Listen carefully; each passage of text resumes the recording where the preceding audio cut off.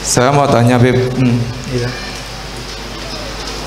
kalau orang mencintai Nabi Muhammad itu kan sudah banyak.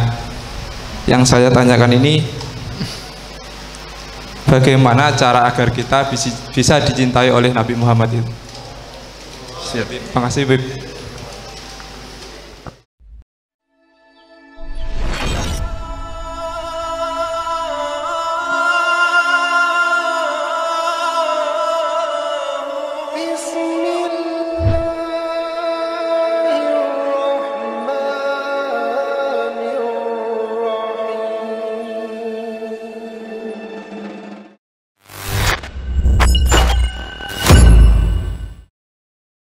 Tadi bagaimana cara singkat untuk mendapatkan cinta dari Nabi Muhammad Wasallam ya. Orang yang cinta banyak. Yang mana yang cinta ini? Siapa orangnya? Saya mau lihat wajahnya orang yang cinta ini. Seperti ini. Semua amal baik kita, pengikutan kita dengan sunnah dan solawat kita itu mendekatkan kita kepada Nabi Muhammad Shallallahu Alaihi Wasallam. Tapi ada satu amalan ini amalan paling ringkas, paling cepat, ya. Karena ketika berbicara tentang keluarga Nabi, ya Allah Subhanahu Wa Taala berfirman di dalam Al-Quran berbicara cinta tentang Nabi Muhammad ya kepingin kita ini membahagiakan hati Nabi kan seperti itu ya. Ketika Nabi bahagia, otomatis Nabi akan perhatian dengan kita kan seperti itu ya. Allah Subhanahu wa taala berfirman, ya, "Qul as'alukum alaihi ajra illal mawaddah fil purba. Saya tidak minta balasan apa-apa dari semua pengorbanan yang saya lakukan kecuali satu. Dan ini diperintahkan sama Allah. Mawaddah fil kur cinta kepada kerabat saya. Mari. Tapi berat ya. Tapi be, karena yang namanya keluarganya Nabi ini ya sama seperti kita.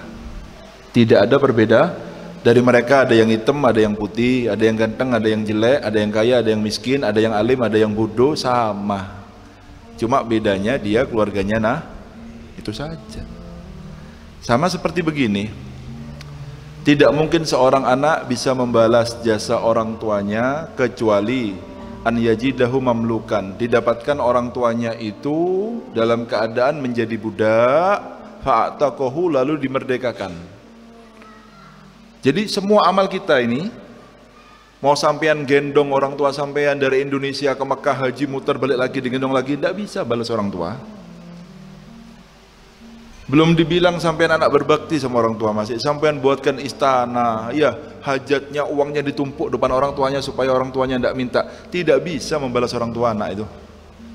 Kecuali kata Nabi berarti apa? Hanya amal ini saja yang bisa membuat anak itu bisa membalas jasanya orang tua didapatkan orang tuanya itu menjadi budak lalu dimerdekakan. Satu. Kalau orang tuanya sudah meninggal dunia Ya, di dalam kuburnya dia diadab, lalu anaknya berusaha dengan semua apa yang dia bisa sampai adabnya itu terangkat dari dalam kuburnya. Sekarang anak tersebut bisa membalas jasa orang tua. Begitupun ini dalam ayat ini. Las alukum alaihi ajro ilal mawaddah fitul. Maksudnya apa? Dengan amalan apa pun kalian tidak akan bisa membalas Nabi Muhammad. Mau sampean sholawat 10 ribu kali, satu juta kali. Mau sampean sholat malam berapa juta rokaat tidak bisa kecuali satu yang baik sama keturunannya. Beres ya? Ini firmannya siapa? Beres ya? Nabi bilang kalau kamu mau balas saya yang baik sama keluarga saya. Saya tidak minta balasan apa-apa. Dalam artinya pada ada balasan amalan apa pun yang bisa membalas Nabi kecuali satu baik dengan keluarganya nah. Wis ya? Ini Allah dalam Al-Quran bukan jawaban saya. Sampai mau jalan ringkes kan ya? Ya ini paling ringkes ini.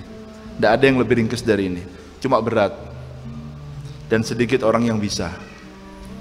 Lalu siapa tadi? Gimana? Pertanyaannya gimana? Yang saya pertanyakan di dalam melakukan sholat khusyuk atau tidak khusyuk apakah boleh menambah kehusuan membayangkan wajah seorang guru untuk menyembuhkan hati hudurul qalbi kepada Allah Subhanahu wa taala. Menghadirkan guru. Ya sudah dijawab sama Habib Ahmad kemarin pelajarannya. Ngaji Al-Qur'an. Ya, bisa 30 juz menghadirkan gurunya jadi 15 juz menghadirkan Nabi Muhammad sampai Ali Imran menghadirkan Allah iya karena budua iya kanas selesai acaranya sudah faham ya ya jangan cuma jangan cuma dalam dalam sholatnya tapi dalam setiap gerakannya itu guru dihadirkan. Ya karena pintu kita untuk dekat sama Nabi itu adalah guru ki guru kita